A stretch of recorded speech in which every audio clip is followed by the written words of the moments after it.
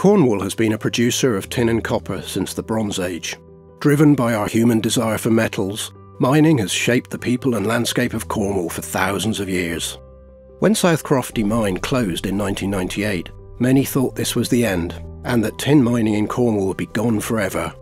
But efforts to restart the mine literally began the day it closed, and 23 years later, tin has once again emerged as a fundamental metal that we need for our daily lives.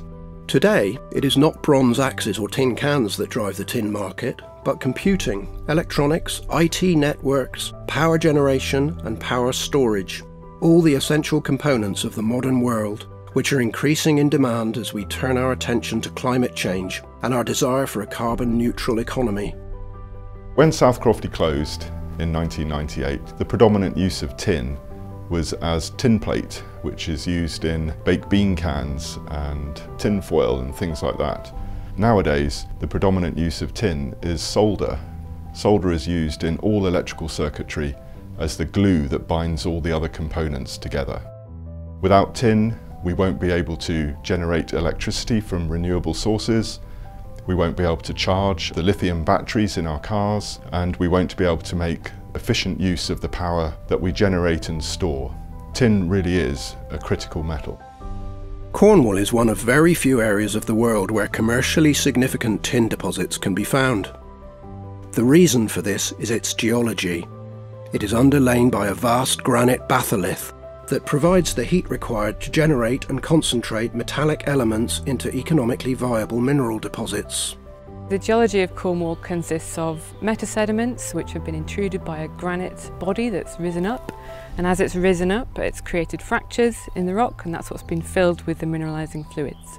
In the fractures in the rock the fluids deposit minerals and it forms veins and these veins consist of chalcopyrite which gives us copper and deeper down we have cassiterite which gives us tin.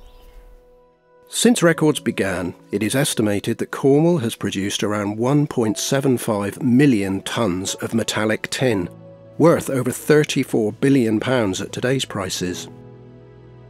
The majority of this metal, and wealth it created, came from the central mining district, the area surrounding the imposing Carn Brea, which underlies the towns of Camborne, Pool and Redruth.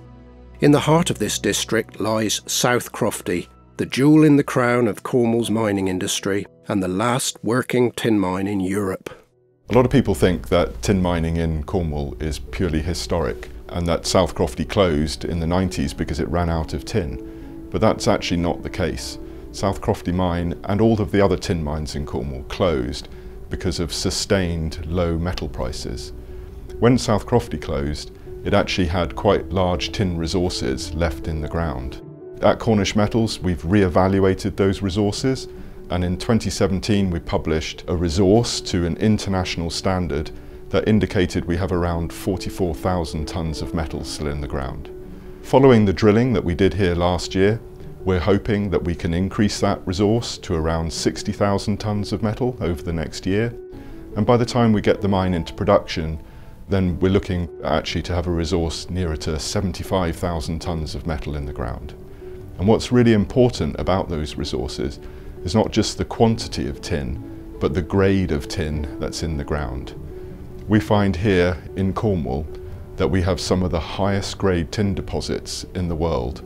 By comparison, most tin mines in the world operate at grades of less than half a percent. Our resource grade here is at 1.8%, so more than three times higher than the global average. So in addition to our project here at South Crofty, we also have an exploration programme going on at United Downs. A diamond drill hole was recently drilled that intersected 14 metres at 8.5% copper and 1.2% tin. We recently listed Cornish Metals on the AIM market of the London Stock Exchange and raised £8 million to further the exploration at United Downs. We're right in the middle of United Downs, halfway between United Mines to the south and consolidated mines to the north and this area of land has never been explored before and it just goes to show how much opportunity there is in between the historical mines. So we're drilling about 10 or 12 holes along the length of the vein. That's about a thousand metres long and we're angling the drill holes to intercept it between 100 and 500 metres depth. Once we get the core, we take it back to South Crofty for further processing. This involves geologically logging the core, photographing it, splitting it in half.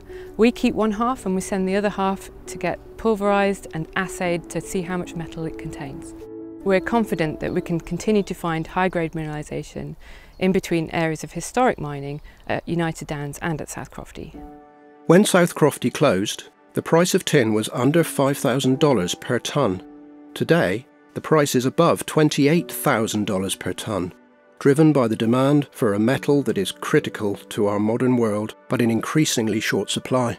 Today, the majority of tin mining is conducted in Southeast Asia, in countries such as Indonesia, China, and Myanmar. Lesser quantities are mined in Peru, Brazil, and the Democratic Republic of Congo. However, tin mining is often associated with environmental destruction, social deprivation, and the sponsoring of conflict. The only significant producer in the developed world is Australia, from a single deep mine in Tasmania. When I was at college, I was really struggling to decide where I wanted to do veterinary medicine or mining engineering, and because not much is taught about mining in schools, I didn't really know what that really entailed, so I decided to come here at South Crofty Mine for work experience. That was three years ago now, and I haven't left since. So I've been doing all sorts from GIS, which is Geographical Information Systems, making maps, core logging, water sampling, and blasting underground. I find the most exciting bit of it the underground blasting side, where I can help out charging up the face and then doing the blasting itself. I find this to be really interesting and valuable for when I want to go get a job in industry, as it's getting that experience required.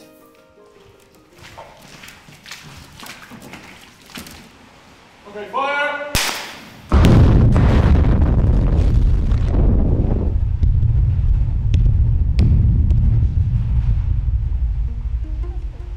Ideally, I would like to stay in Cornwall. We have some of the best tin deposits in the world with some of the highest grades. These are just waiting to be extracted again. But until we have sufficient funding to do that, I will have no choice but to move to Australia or Canada to go find work. When we reopen South Crofty Mine, it will be of real economic significance to both the local community and the UK as a whole.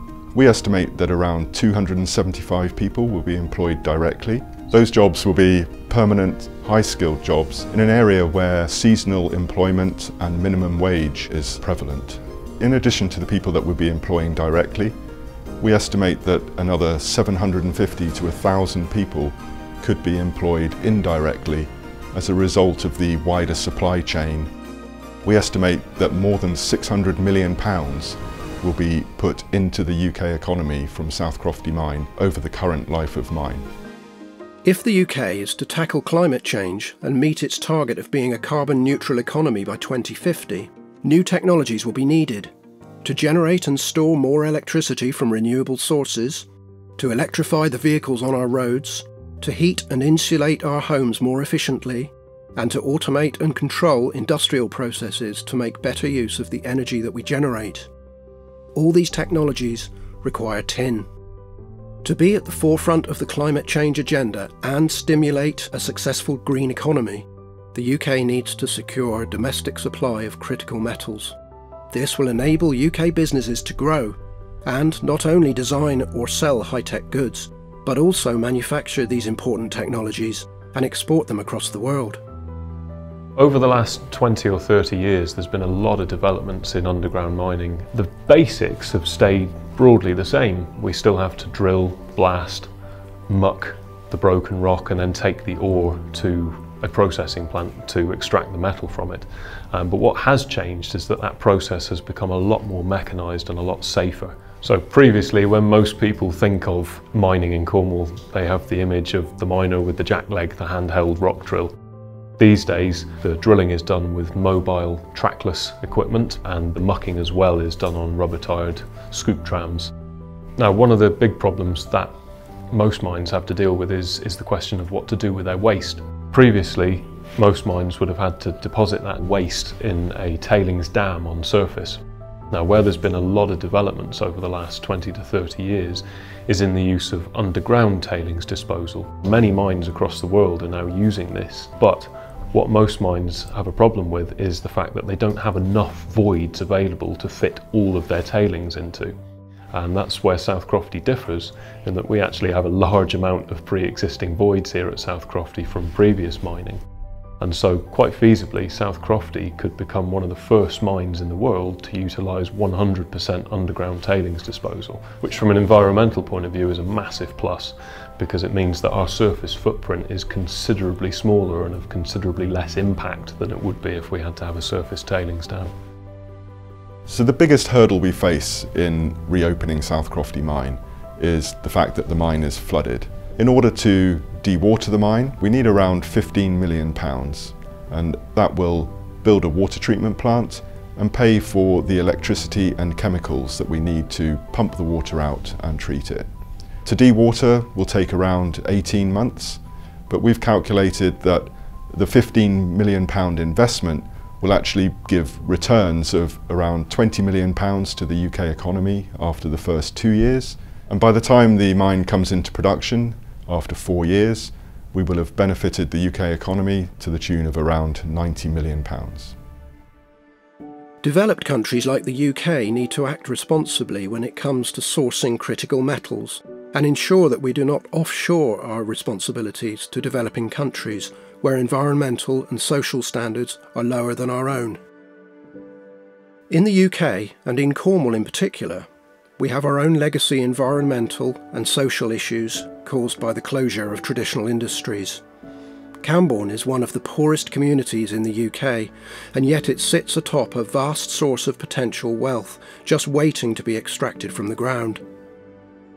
I started in 1981, uh, worked with my father like many miners. Huge amount of camaraderie here at the mine. Camborne and Pool were absolutely buzzing and when people used to leave work uh, you, you, couldn't drive through Camborne because so many people were walking along the roads or cycling home so it was a really busy place with a lot of employment and good quality engineering jobs. Well it's a sad reflection of the, the former heyday of not just mining but, uh, but of engineering in the town. The shops are looking really tired, the properties are looking really tired. They haven't invested what I believe in, in industry, engineering, and um, they put all their eggs basically in one basket and looked at tourism. Yes, it's needed in Cornwall, but not to the extent uh, where it, it affects how people pay their mortgages, pay their rents. You know, we do need good employment that can support a family. Well, there's no doubt in my mind that mining does, not just will, but mining does offer a better opportunity that. It gives you a wage that will pay a, a good rent, buy a good house, and um, you know, it, it's sustainable 52 weeks a year. I think, you know, Cornwall is going to be the place for mining companies to invest, and I think we will get that employment back here in Cornwall. At South Crofty, Cornish Metals can extract the tin required to supply our high-tech industries, drive economic growth and help to resolve legacy environmental issues in one of our poorest communities, provide skilled jobs and partner with education to ensure that local people have a future within their local communities, and, above all, do it in a responsible manner that ensures our desire for a better climate does not negatively impact others. Cornish Metals is working to redevelop and reopen South Crofty and seize the opportunities presented by climate change and the desire for a carbon neutral world to be a catalyst for real change.